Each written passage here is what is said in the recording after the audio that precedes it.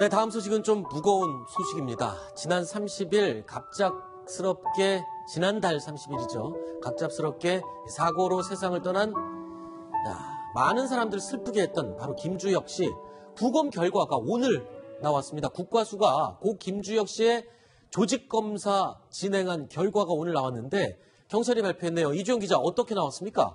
네, 일단 정확한 사고 원인을 규명하지는 못했습니다. 아직도요? 예, 직접적인 사고가 일어나서 숨진 원인은 밝혀졌는데 자, 그러니까 사고 당시 음주나 약물은 전혀 없었다라는 걸로 확인이 됐네요. 네, 맞습니다. 당시 알코올이나 약물, 독물, 독물 이런 것들은 검출이 되지 않았습니다. 네. 그래서 심근경색, 심장 전도계 이상 확인할 수 없고요. 그게 그 전후 사정이 이어졌기 때문에 정확한 사고 원인을 규명하기는 어렵다, 어렵다고 합니다. 또 자, 김- 지금 잠시만요. 지금 보시는 영상이 김주혁 씨 차량에서 발견된 블랙박스 그 영상입니다. 김주혁 씨가 타고 있던 바로 그 블랙박스 영상입니다. 자, 지금 보십시오. 인도를 넘어서 보도블록을 달리다가 아파트 계단으로 추락하는 이 영상이요. 김주혁 씨 차량에 블랙박스가 달려 있었고 분실이 된 것으로 확인이 됐었는데 결국에 찾아냈습니다. 지금 찾아서 그 영상 사고 당시에 김주혁 씨 차량에 서 찍힌 그 영상을 지금 보고 계십니다. 네, 그렇습니다. 조수석 의자 밑에서 블랙박스가 발견이 됐고요. 네. 그런데 음성은 제대로 이렇게 녹음이 되지 않았습니다. 아, 음성 녹음은 되지 않았고요. 예, 그래서 자, 화면 지금 이 상황을 다시 한번 보- 죄송합니다. 이유정 기자. 자, 지금 갑자기 속도를 내면서 인도 화단을 넘고 인도를 지나 계단 쪽으로 떨어져서 차가 추락하는 그 순간의 모습. 자, 지금 이 영상을 분석한다면 자동차 전문가나 아니면 국가수에서는 사고 원인 대충 좀 분석을 할 수 있을까요? 시간이 어느 정도 걸릴까요? 시간은 꽤 많이 걸릴 것 같습니다. 아하. 이 영상으로는 정확하게 뭐 어떤 결과가 일어나서 이렇게 됐다라고 보기는 좀 어렵기 때문에 네. 좀더 타이어 흔적이나 다른 여러 가지 것들을 검사해서 규명을 해야 될 것 같고요. 시간은 좀 더 걸릴 것 같고 김주혁 씨의 사고 원인 이걸 밝히는 게 좀 더 시간이 많이 걸릴 것 같습니다. 네.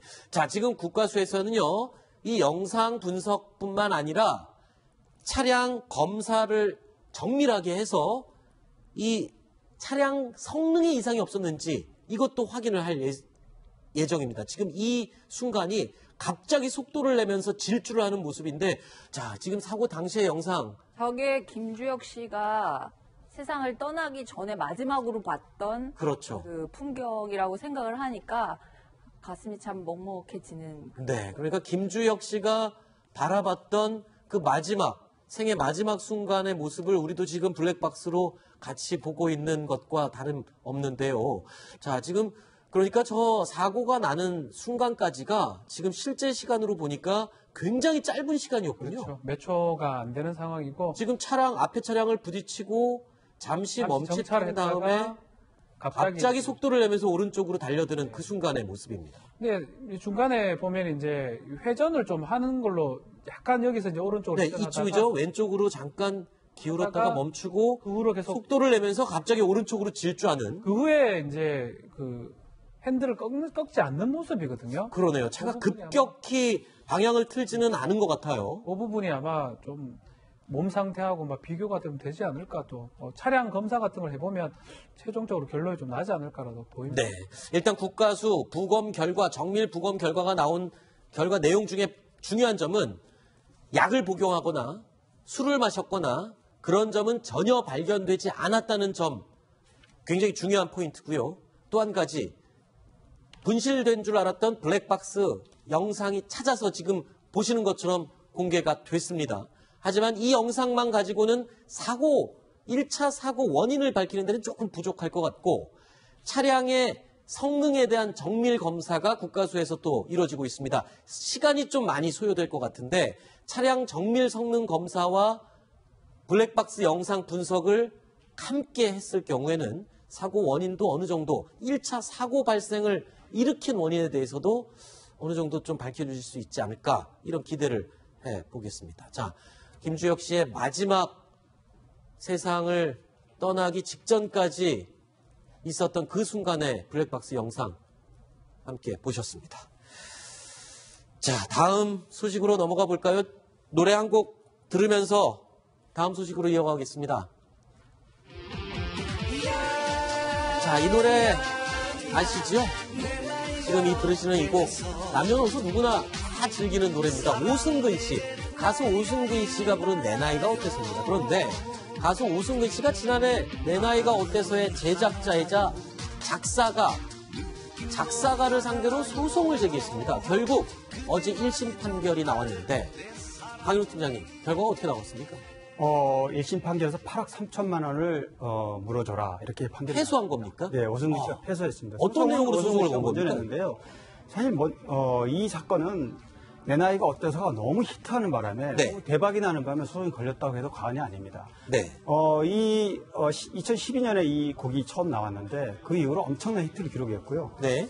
어, 수익이 굉장히 많이 났습니다. 그래서 어, 뭐 행사라든가 아니면 방송 저작 지금 그 저작권료는 한국 음- 어, 음악 저작권협회하고 음반산업협회에서 나눠주는 저작권료가 있는데 지금 오승근 씨 같은 경우는 가수기 때문에 가창료를 받습니다. 그래서 한국 음반 산업협회에서 받는 거고 네. 제작자인 그 박무부 씨는 어, 음원료를 받게 돼 있습니다. 네네. 근데 음원료가 꽤 많이 나왔겠죠. 워낙 히트를 많이 했으니까. 네. 이 음원료를 돌려달라고 한 겁니다. 일부를. 음. 그런데 사실 모든 제작비와 어, 작곡, 작사 모든 과정을 어, 제작자가 다 했기 때문에 네. 그거는 계약서상 줄 수 없는 돈이고 아. 가수는 가창료가 가게 돼 있다.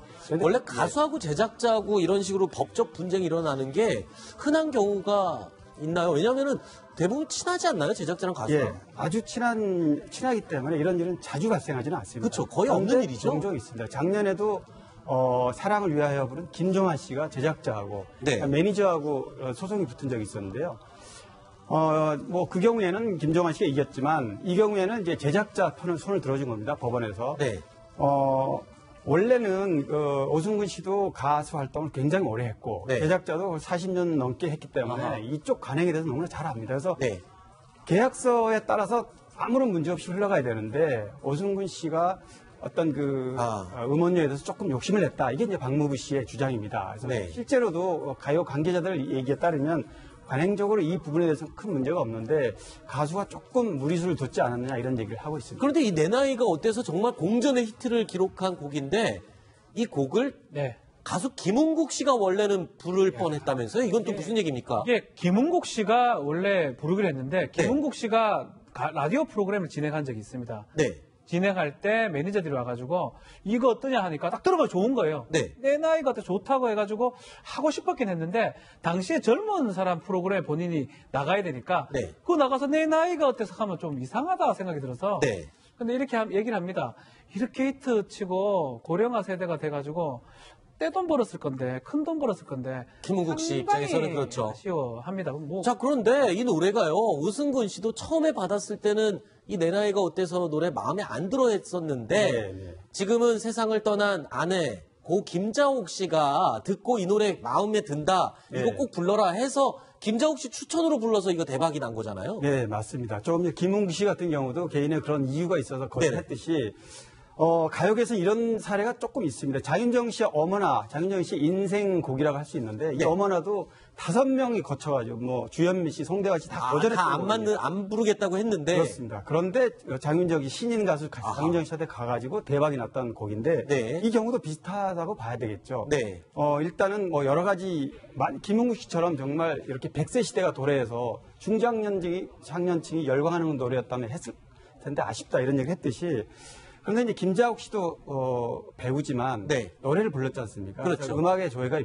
관심이 공주는. 괴로운가요? 예, 공주는 그렇죠. 외로운가요? 네. 네. 근데 이제 차량에 처박아 두고 일주일 동안 보지 않았는데 안 들었는데 어느 날 김자옥 씨가 노래를 틀더니 흥얼거리더라는 거죠. 내 네. 나이가 어때서. 그래서 어, 아내의 권유하고 어, 그렇죠. 그런 걸 보고서 이제 이 노래를 부르게 됐다는 겁니다. 사실, 저, 오승근 씨가 저 노래로 재기에 성공한 거나 다름없잖아요. 그렇죠. 어, 오승근 씨는 68년에 이제 투에이스, 그 다음에 네. 74년에 금과 은 이렇게 활동을 해서 트로트하고는 관계가 거리가 좀 먼 그런 곡들 많이 그렇죠. 불렀는데 어, 이, 어, IMF 이후에 사업화가 크게 망했고 경제, 경쟁이 어려운 이후에 이제 트로트로 전향을 했습니다. 근데 사실 실질적으로 트로트 가수로 전향해서 성공하기 어렵, 굉장히 어렵죠. 근데 네. 2012년에야 비로소 내 나이가 어때서라는 이 곡을 받아서 어, 완전 대박을 이룬 트로트 음. 가수 중에 최고 인기를 누린 가수가 된 겁니다. 네. 지금 세상을 떴지만 김자옥 씨 얘기 나오니까 갑자기 또 김자옥 씨 얘기 하나 궁금한 게 떠오르네요. 이 김자옥 씨 살아있을 때 이 오승근 씨와의 연애 사실이 언론에 공개되자마자 먼저 결혼하자고 프로포즈한 게 김자옥 씨였다면서요? 네. 굉장히 작고 왜소하고 여성스러운데 굉장히 대담한 면이 있었네요. 맞습니다. 우리가 시청자들이 그동안 고 김자옥 씨를 봤던 딱그 네. 사람입니다. 그냥 솔직하고 네. 어, 뭐 적극적이고. 근데 이제 그런 스타일인데 어, 만난 지 3개월 만에 결혼하게 된 거는 김자옥 씨가 두 사람이 처음 만난 거는 어, 명동에 있는 유지승 당시에 굉장히 유명했던 미용실에서 만났다고 그러는데요. 아하하. 거기가 오적교가 돼서 몇 번 만나다가 3개월 만에 근데 언론에 두 사람이 교제하는 게 알려지고 나니까 김자옥 씨가 먼저 프로포즈를 했고 결혼을 빨리 하게 됐다고 그럽니다. 네. 자, 오승근 씨가 이 고 김자옥 씨가 세상을 떠난 이후에 한 방송에서 김자옥 씨의 마지막 글을 공개한 게 있었습니다. 자, 이 내용 사랑해요. 수고 많았어요. 아빠 편히 자요. 자, 이런 내용을 마지막 메모로 메모로 김자옥 씨가 세상을 뜨기 전에 남겼다고 하네요. 자, 연예계 소식 몇 가지 짚어봤습니다. 오늘 저희가 아홉 번째 소식으로 또 준비한 내용이 있네요. 오늘 제작진이 8위로 꼽은 소식이 있네요. 확인하겠습니다.